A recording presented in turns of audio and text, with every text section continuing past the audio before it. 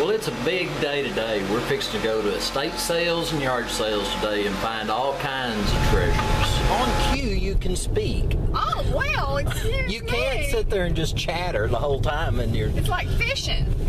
yeah. It's like you know, here I am. I'm trying to do a video. Oh, look at Loudermilk's Oh, yard. hey, you made your point. Don't be ugly to me. Okay.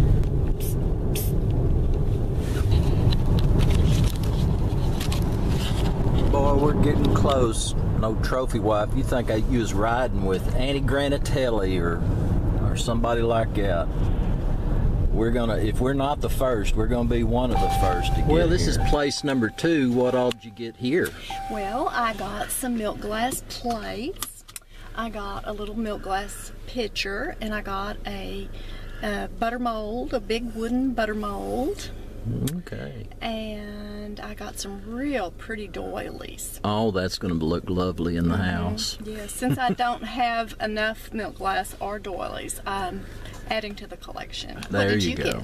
Well, I got two tractor plow seats already made into little stools, so that's going to sit out there by the shop. So, I, in case I need some place to sit down, I'll have some place to sit. What I'm Very mainly going to do today is paint a couple of tractor seat uh, chairs that I'm keeping out in the shop, and uh, hang around just a minute, and we'll see how they turned out.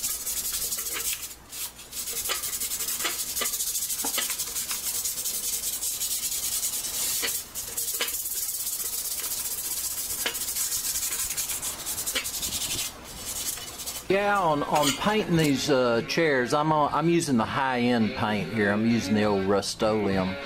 Uh, I've got uh, Sunrise Red, so uh, these are going to be pretty bright, and uh, we'll get a look at them in a little bit. Got the uh, tractor seat, got them all sanded down and everything, and so we're going to get ready and shoot a little color on them.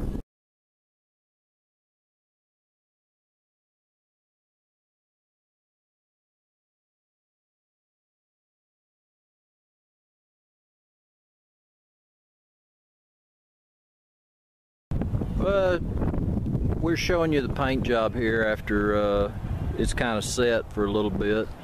It's got a real good gloss on it, both the chairs just with light sanding. Both of them uh, ended up looking pretty nice. Got the legs all painted.